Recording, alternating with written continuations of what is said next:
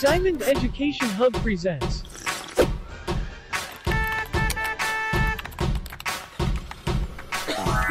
Online learning.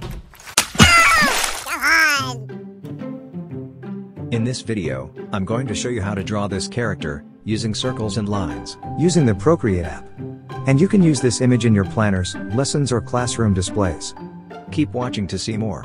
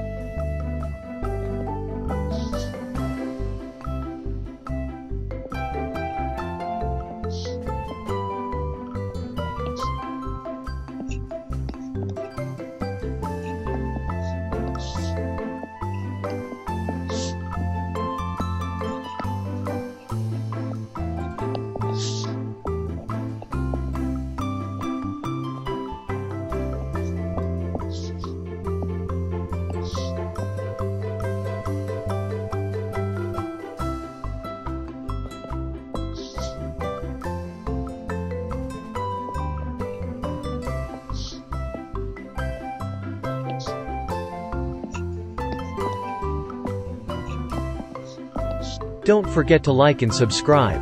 Thank you for watching.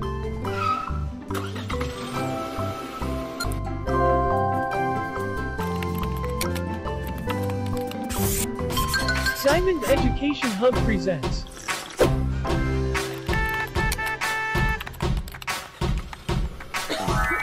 Online learning.